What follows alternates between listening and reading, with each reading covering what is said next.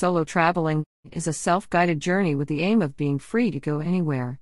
However, before doing so, it's a good idea to know what preparations are needed before trying to go solo. Traveling alone to visit beautiful places that have not even been touched by humans in various countries may still sound very unreasonable to most Indonesians. People still think that solo traveling is very dangerous, especially for women.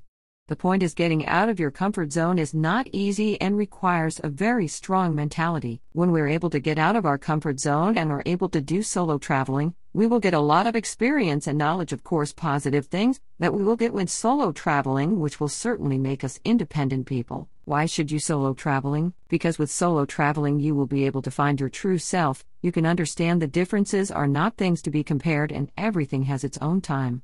Solo traveling also has advantages and disadvantages. Disadvantages of solo traveling during the trip, you will be alone and have no friends to chat with. If we move locations, we have to find out on the internet. We have to find our own food. It costs a lot. From a security perspective, it tends to be more risky, prone to crime. Advantages of solo traveling like getting a new atmosphere and getting out of your comfort zone. Relieve stress and improve mood discover new places. If you are a blogger or YouTuber, the experience while traveling can be made into articles or content. When you do solo traveling, you should be able to plan everything that involves the trip.